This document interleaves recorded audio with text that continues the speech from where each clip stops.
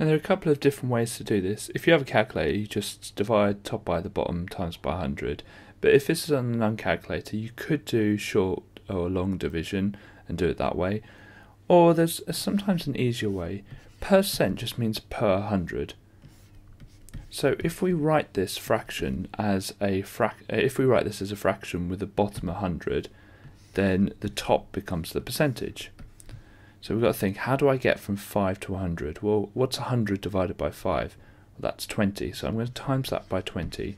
And you need to add, uh, you can't add or subtract top and bottom. You've only got to times and divide. So we're timesing by 20 to get to 100.